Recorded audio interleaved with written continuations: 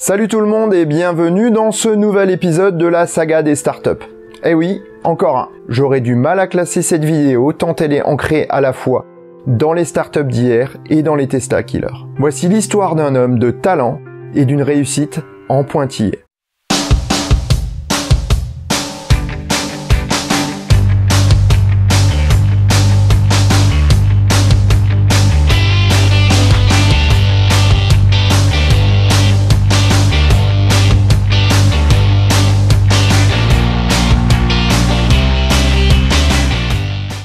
Ça te plaît, mets un pouce bleu. Si ça te plaît vraiment, abonne-toi. Clique sur la petite cloche. Et si ça te plaît vraiment, vraiment, vraiment, eh ben partage partout ce que tu peux. Merci. Henrik Fisker est né au Danemark le 10 août 1963. Fraîchement diplômé de l'Art College of Design, il est recruté par BMW. Je fais ici un parallèle avec Jerry Wigert, dont j'avais déjà parlé lors de l'épisode sur Vector Aeromotive. Comme le Californien, il crée des liens dans le monde automobile grâce à son charisme et à son attitude volontaire. Fisker travaille pendant plusieurs années dans les divisions de design avancé du constructeur bavarois.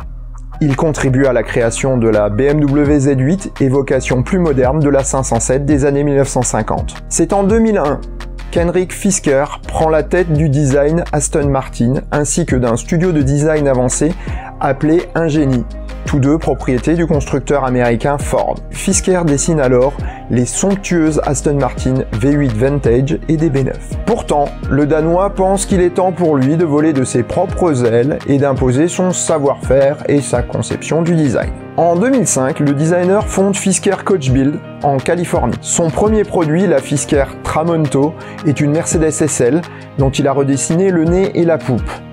Pas disgracieuse en soi, la voiture est clairement inspirée des travaux de Fisker chez Aston Martin. Il renouvelle l'exercice avec la Latigo CS, un véhicule quasiment identique mais basé sur une BMW série 6. C'est en 2007 qu'Elon Musk prend contact avec Fisker Coachbuilt. Le patron de Tesla souhaitait dégrossir le design de sa future berline et l'élégance sportive des dessins de Fisker lui plaisait. Tesla donne accès à son studio de design et aux secrets de la marque permettant à Fisker de réaliser une voiture époustouflante.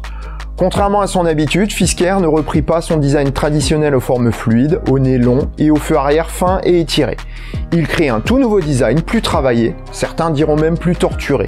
La voiture est présentée à Elon Musk qui la juge tout simplement horrible.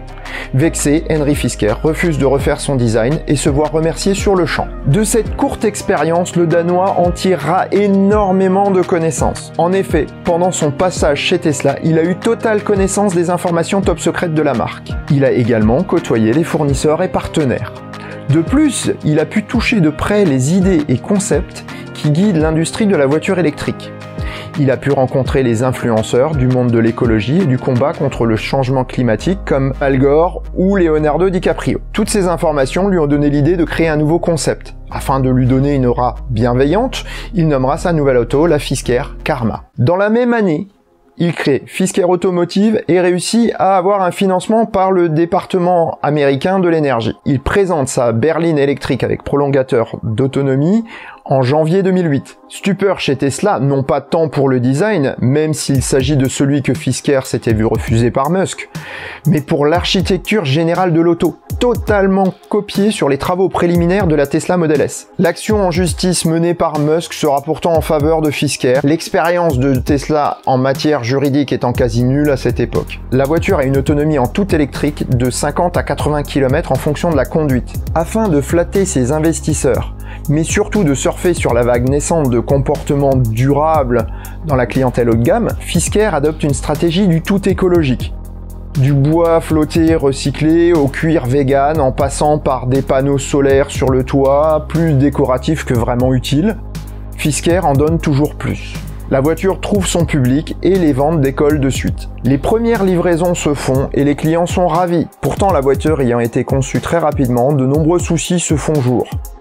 Ce n'est pas anormal pour une nouvelle marque et un nouveau modèle. Ce qui est nettement plus inquiétant, c'est le premier rappel presque immédiat de toutes les batteries par leur fabricant, A123 Systems. En effet, plusieurs autos ont pris feu et les batteries sont mises en cause. Plus grave, en 2012, le problème semble persister et un second rappel intervient. C'en est trop pour A123 Systems qui ferme ses portes. Sans batterie, Fisker arrête la production de la Karma en novembre 2012. Dommage car le modèle se voyait déjà prévu avec des déclinaisons découvrables et shooting break. En mars 2013, Henrik Fisker quitte l'entreprise au bord de la faillite. Fisker Automotive est vendu à un consortium chinois pour environ 150 millions de dollars. En 2015, l'entreprise change de nom pour devenir Karma Automotive. L'auto est rebaptisée Revero. Elle est largement modifiée pour bénéficier de composants différents de ceux d'origine. Elle n'est d'ailleurs toujours pas en production à ce jour. Notre designer danois ayant la bougeotte après sa démission, il crée une nouvelle société, HF Design. Ça rappelle encore une fois Jerry Wigert et Vector Aeromotive. Pourtant, contrairement à ce dernier, Fisker travaille sur des projets externes, et ce avec grand talent. Il dessine la Mustang Rocket avec Galpin Autosport, qui est vraiment une auto superbe. Il s'essaie à la moto avec euh, Loge Jensen Motorcycle, désolé pour la prononciation. Et en 2015, il est engagé par Benetti Yacht pour dessiner le Fisker 50. Le navire est un concentré de superlatifs à la Fisker. Fort de son expérience dans le domaine du recarrossage, Fisker présente la Force One V10, une euh, Viper recarrossée. On ne peut rester indifférent aux courbes de l'auto qui est, à vie personnelle, somptueuse. Il crée également la société VLF Automotive qui doit produire entre autres la Mustang Rocket. Nettement moins inspiré, Fisker lance la VLF Destino qui est une Karma thermique avec un moteur de V8 LT1 de Corvette. Il en vend quelques-unes, mais c'est clairement un échec. En juillet 2016, alors que son nom n'est plus utilisé par Karma Automotive, le designer en profite pour créer Fisker INC, une nouvelle marque automobile destinée à devenir, selon son fondateur, la plus innovative de toutes les marques automobiles. Clairement, la cible est désignée Tesla. Fisker a une seconde chance de laver l'affront que lui a fait subir Musk et il va se donner à fond. Trois mois après la création de l'entreprise, le florilège Fisker recommence. Tiens, encore un parallèle avec euh, Wigert. Hein. La nouvelle marque présente une berline appelée Émotion. Toujours le sens du théâtre, hein, ce Fisker. Ce successeur spirituel de la Karma est une auto hyper luxueuse à quatre portes papillons, enfin dans le genre quoi. Des hypothétiques batteries au graphène dont la production démarrera bientôt permettent une autonomie minimum de 640 km et une recharge en moins de 5 minutes. Les premières images de la voiture sont présentées en juin 2017. Elle est présentée physiquement en janvier 2018. Henrik Fisker fait mouche. Son design a tout ce qu'il faut pour plaire. Elle a cet effet waouh qui manque à tant de productions de grandes marques. Elle est tout simplement superbe selon moi.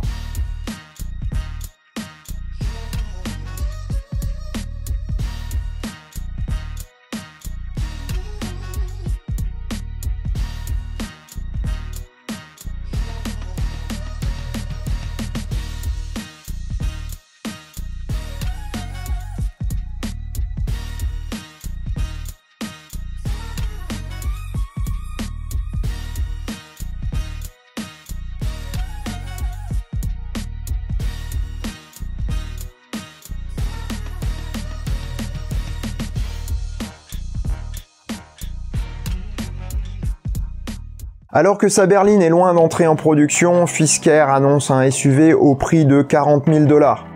Selon le même plan de présentation que la Emotion, ce SUV, qui reste à baptiser, est en phase de teasing photo sur les réseaux sociaux. Force est de constater que le produit semble également esthétiquement réussi.